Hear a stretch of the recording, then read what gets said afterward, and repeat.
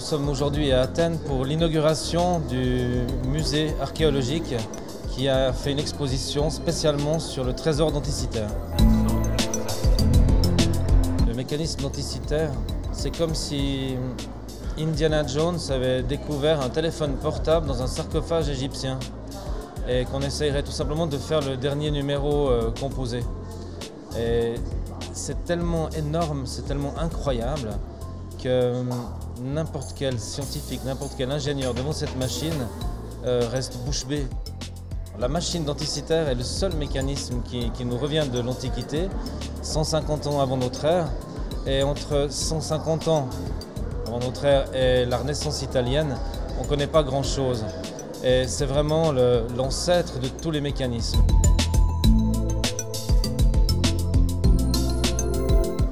What I'm, I'm very happy of is that I can actually read the inscriptions that are on the machine because it's more or less the same language 2000 years ago and we can still read it. Even the small children can decipher the words. Uh, within this showcase that was built by Hublot, uh, all the letters appear uh, very brightly and just, just by looking you can read. Uh, it's uh, exceptional.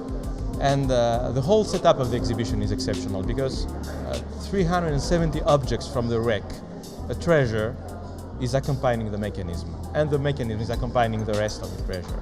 Because in ancient Greece, art was a single word for what we call art today, but also for technology.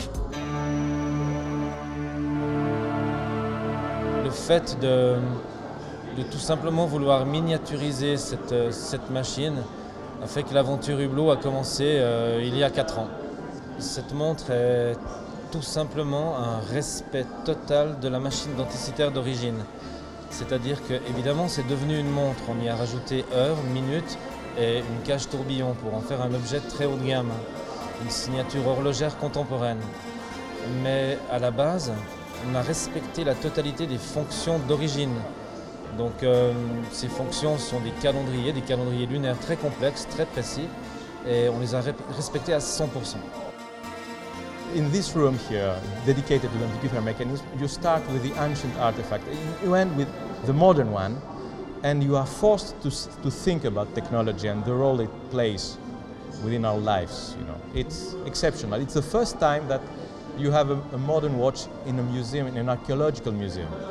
Once again, a third time, it's also art, the, the art of fusion. You know, it's I've read this with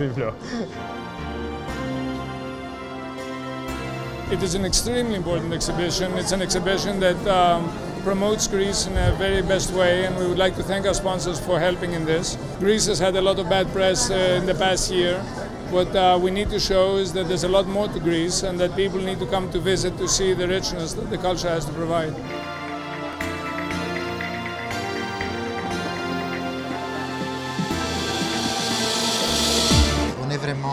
Reconnaissant à Hublot qui a appuyé financièrement l'exposition euh, parce qu'autrement on ne pouvait pas réaliser cette exposition.